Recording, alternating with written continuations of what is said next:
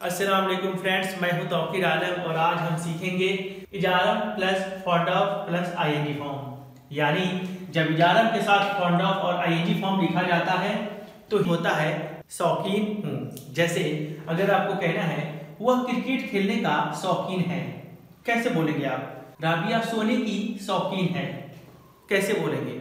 चलिए सीखते हैं। फ्रेंड्स ट्रांसलेट करना और अंग्रेज़ी बोलना। बहुत इजी होता है, अगर आप थोड़ा केयर करें तो। कैसे? आइए मैं आपको एग्ज़ाम्पल में बताऊँ। अगर आप इसको इंग्लिश में तर्जुमा करना चाहते हैं तो सबसे पहला वाला अंग्रेज़ी सबसे पहले लिखिए, फिर पीछे से अंग्रेज़ी लिखते हो आगे की ओर चलिए। जैसे सबसे पहले लिखा है वह, उसका अंग्रेज़ी होगा ही।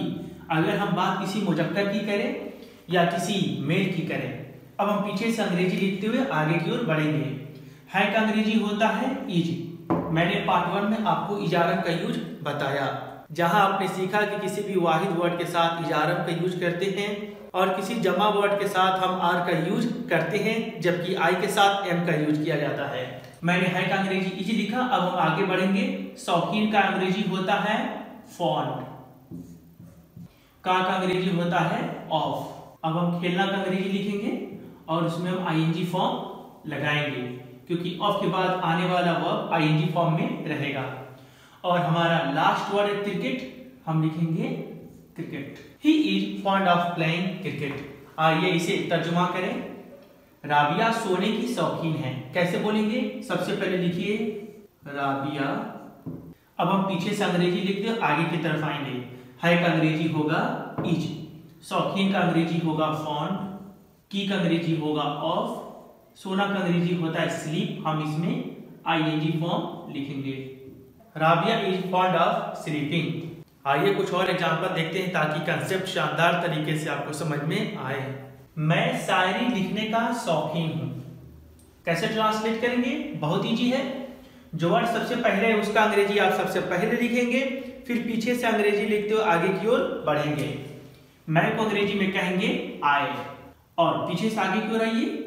हूँ का अंग्रेज़ी होगा एम। शौकीन को अंग्रेज़ी में कहते हैं फॉन का अंग्रेज़ी होगा ऑफ़ लिखना का अंग्रेज़ी होगा राइट हम उसमें आईएनजी ऐड करेंगे और शायरी को कहते हैं poetry I am fond of writing poetry आइए, अब इसे तर्जुमा करते हैं। वे खाना पकाने के शौकीन हैं।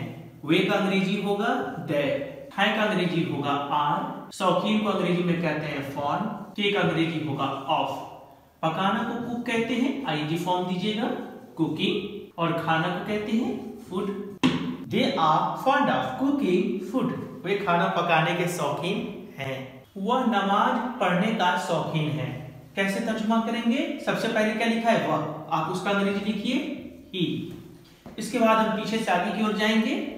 है, यानी इज़ शौकीन को कहेंगे फॉन्ड ऑफ़ और नमाज़ पढ़ने के लिए हम लिखते हैं perform I N G add करेंगे और नमाज़ को कहते हैं सलाह। He is fond of performing salah और ये तर्जुमा हुआ। आइए इसे करते हैं। सबसे पहले लिखा है मैं, यानी आए पीछे से आगे की ओर आइए? हूँ को कहेंगे एम शौकीन को बोलेंगे फॉन का का अंग्रेज़ी होगा ऑफ़ खेलना का अंग्रेज़ी होगा प्ले आईएनजी के साथ लिखेंगे प्लेइंग और क्रिकेट को कहते हैं cricket. I am fond of playing cricket तो फ्रेंड्स अगर आप इसको तर्जुमा करना चाहते हैं, मैं मीठा खाने का शौकीन हूँ। कैसे बोलेंगे? जो वर्ड सबसे पहले है, उसका अंग्रेज़ी आप सबसे पहले बोलिए। फिर पीछे से एक एक वर्ड का अंग्रेज़ी ट्रांसलेट करते हुए आगे की ओर आइए।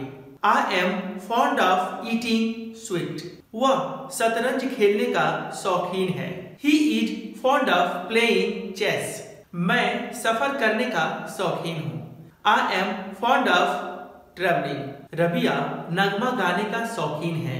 Rabia is fond of singing the song मैं अंग्रेज़ी बोलने का शौकीन हूँ। I am fond of speaking English by God अगर आप इसका नेगेटिव या इंटरोगेटिव बोलना चाहते हैं, बहुत आसान है। अगर ऐसा कहना हो, वह नमाज़ पढ़ने का शौकीन नहीं है तो आप इज़ के बाद नॉट का यूज़ करें या फिर इज़ का छोटा फॉर्म इजेंट लिखें।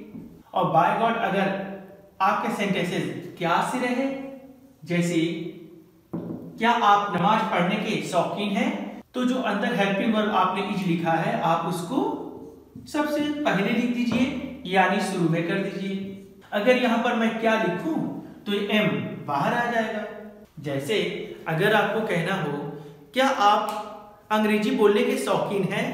Are you fond of speaking English क्या आप गरीब लोगों की मदद करने के शौकीन हैं?